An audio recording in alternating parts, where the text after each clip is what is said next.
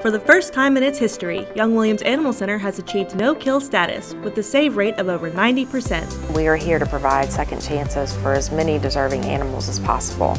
And with that, we've been able to implement some programming and initiatives that really allow us to address um, those animals that might be um, more challenging than others in order to be able to provide them with second homes.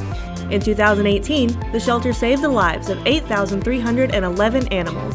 Testerman credited the community and supporters for the shelter's success. That is a remarkable accomplishment. It's a great day for Young Williams Animal Center. It's a great day for this community. We have been celebrating this with our staff, with our volunteers, with pet owners.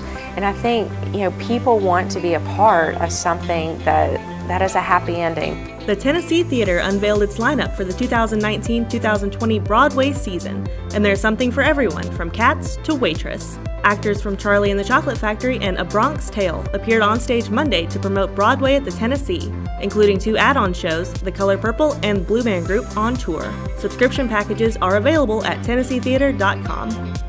With five confirmed cases of measles in East Tennessee, Summit Medical Group reminds the public of the importance of vaccinations. Infants should receive their first MMR vaccine at 12 months old. If you plan to travel outside of the country, talk to your pediatrician to determine if your child should be vaccinated early. So if your child got two MMR vaccines, they're covered. Send them to school.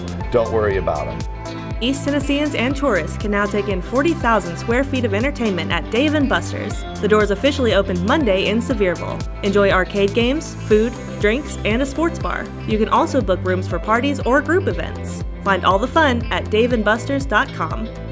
The MoxCar Minute. News for you.